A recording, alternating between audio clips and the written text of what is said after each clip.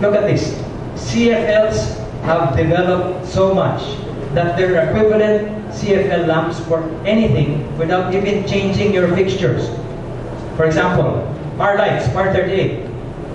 Okay? You can replace that and you get a 90%, 97% savings. Okay? That, that hot uh, spotlight thing, par 38, you replace it with a CFL equivalent. More interesting thing here, this one. Halogen lights, like the ones we have here, no?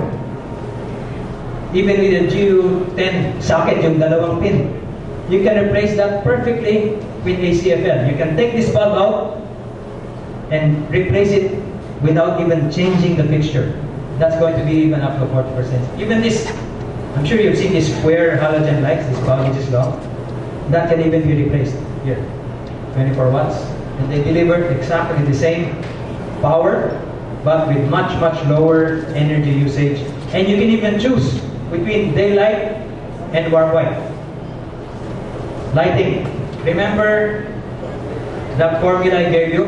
2.5 and the, and the height of your window. What does this mean for lighting? If you're going to rewire retrofit, zone your lights. Light A, a light C, light B, light A. Have this light A switch separately. B separately, C separately. Why? What happens in sometimes some offices or houses? You switch on the lights, the whole thing is on. But yet the guy there beside the window really doesn't need the light. During the day at least. Huh? So, again, things to consider. It's just a matter of zoning your lights, changing your switches. And then label clearly switches, especially in offices, and make a logical sequence. What happens in an office? You come in, a gang of switches. Click, no, click, no, click, no, click, no.